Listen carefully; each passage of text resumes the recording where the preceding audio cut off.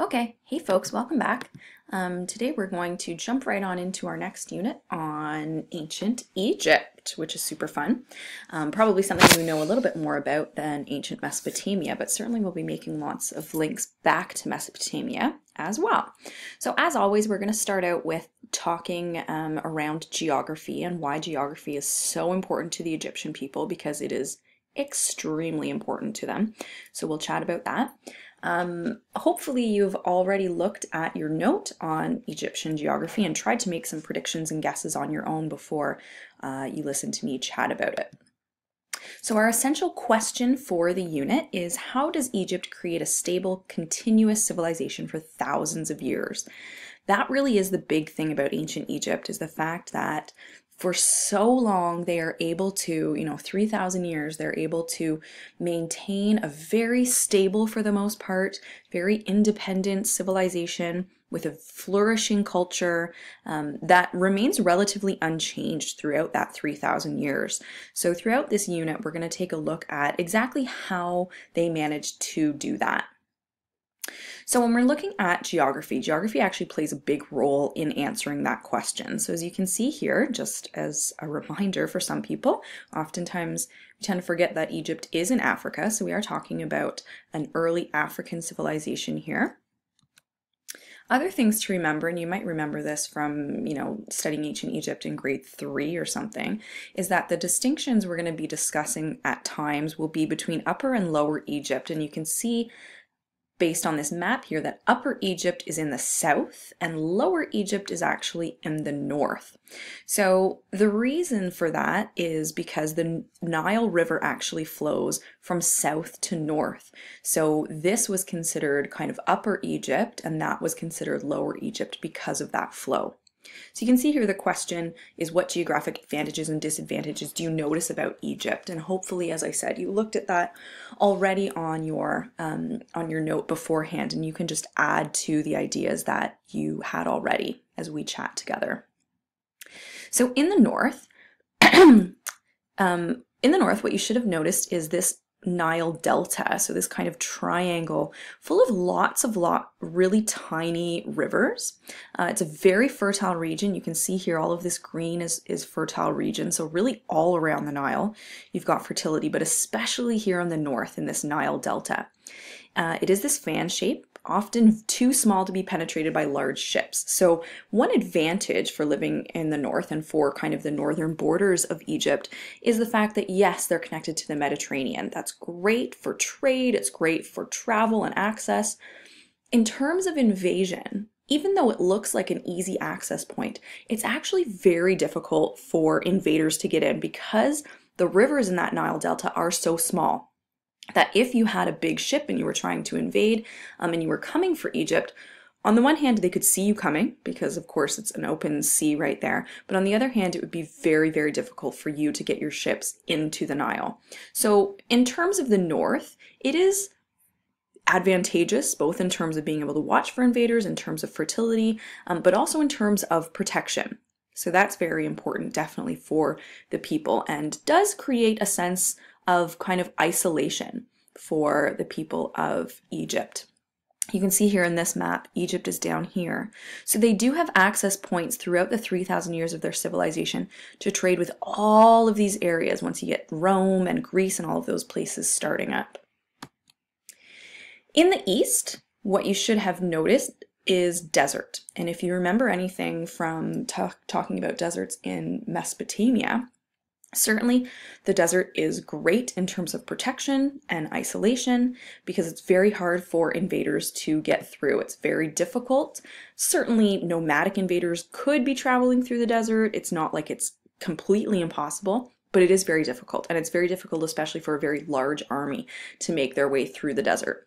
You've also got the Red Sea here. Again, though, not great access from the Red Sea into Egypt. They've still got to go through that desert. And it's also again a matter of size, not really easy for big ships to get through. You would need a very well organized fleet um, in order to get through. The other thing about the East is they're able to trade with Byblos, which is kind of up here, for timber. So they actually don't have a lot of very strong heavy wood in Egypt, and you'll look at trade a little bit later. But the east is very important for them because they do have a trade route, again, through the Mediterranean Sea to get to the, um, the timber in Byblos in the east. In the south, what you might have noticed is certainly the rest of Africa, um, modern day Sudan, uh, places like that. The really important things for the south is that's our contact with Upper Egypt. So again, we've got the, the Nile River flowing from south to north.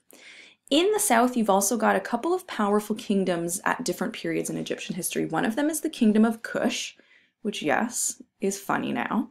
But the Kingdom of Kush was very powerful at times. Um, sometimes a threat to Egypt, but ultimately nothing really ends up happening. Also, you've got the Kingdom of Nubia later on, and that's very important for the Egyptians because the Nubians have a lot of gold.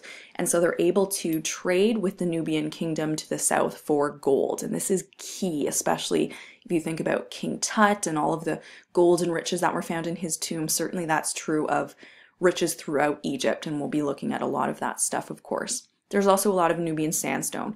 So the Nubians are a great trade partner, um, and they never really come into any kind of like aggressive contact with the Nubians because they have a fairly good, stable relationship.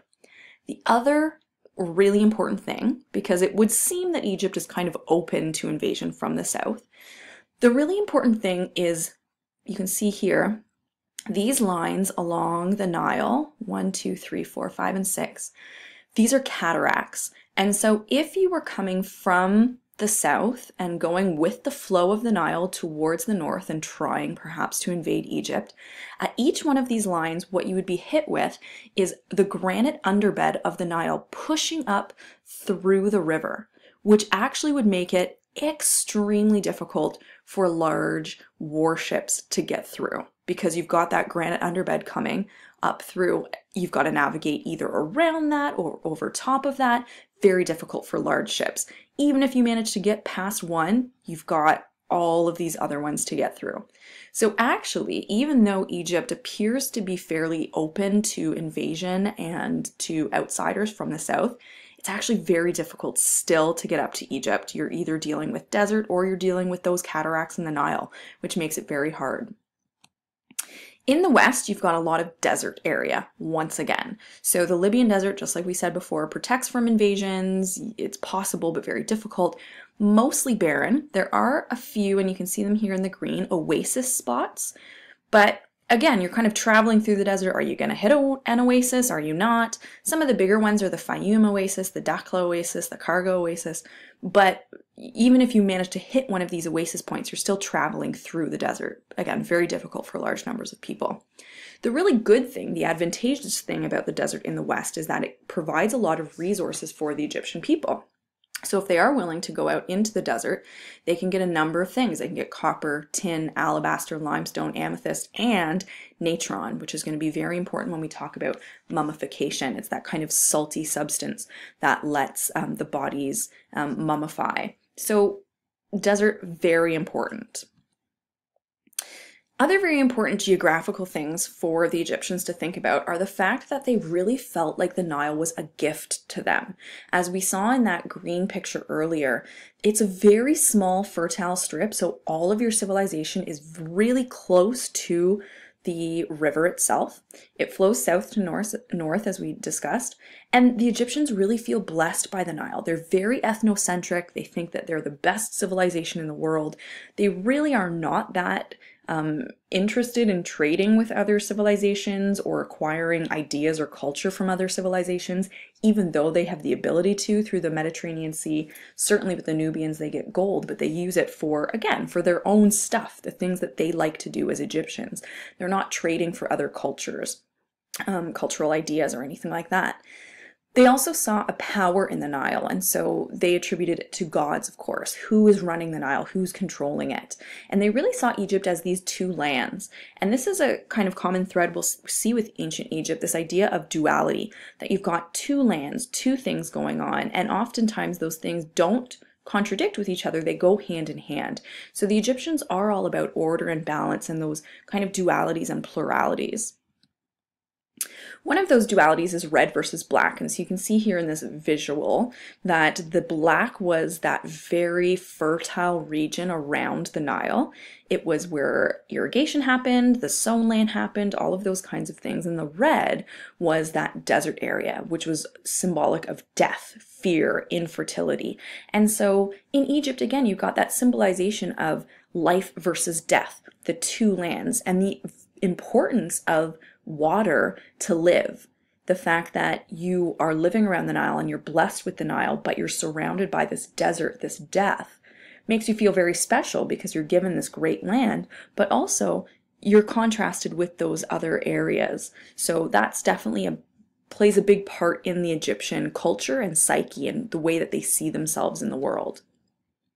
In terms of agriculture, you can see here a visual in terms of kind of the flood season. Um, the river, the Nile River is fed by summer monsoons in Ethiopia, so it rains in June. Um, and then it had very pre predictable flooding. They knew it was going to flood in July and August and that they would have fertile soil in order to harvest. So it was very, very predictable. Not predictable was the amount of flooding, and actually the Egyptians again used this to their advantage because kings and then pharaohs were very, um, very focused on wanting to tax their people um, in a way that made sense, in a way that uh, did not put strain on their people, because they, again, are all about order, harmony, balance, all of that good stuff. And so every year that the river flooded, they would mark how much it flooded, and they would tax people appropriately. So if it flooded a lot, they would tax them more. If it didn't flood as much as the year before, they would cut back on taxes, which, again, is kind of interesting. So how does this all factor into stability? Isolation and the Nile are key. As I said, they're very ethnocentric. They're also very xenophobic. They don't like other cultures. They feel that they are very superior. They think the Nile was given to us. We're the ones who were blessed with it. So we were born in the best place on earth. We don't need to concern ourselves with other people. What this does is it allows them to very firmly develop a very stable culture and civilization with utter confidence. They don't need to be focused on other people. And not only do they not need to be focused on other people, it's very difficult to get to other people. And it's very difficult for other people to get to them. So when the Egyptians find things that work, basically that's the way that they do it for thousands of years. There is very little change in Egyptian civilization throughout that 3,000 years. We will discuss little periods where there's, you know, foreign occupation or foreign invasion. But even those time periods are very short lived.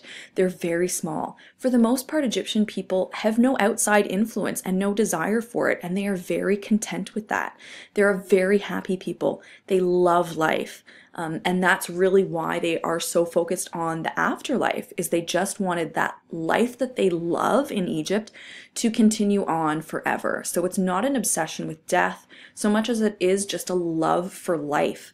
And we'll definitely be talking about that as we start to discuss the evolution of the pyramids and as we start to play around with mummification and some of those fun things. So this is kind of the first way that we're going to answer this question. But as I said, we're going to keep looking at how they maintain and develop this very stable, consistent culture throughout that 3,000 years um, of time together. So, thanks for listening, and I'll talk to you guys soon.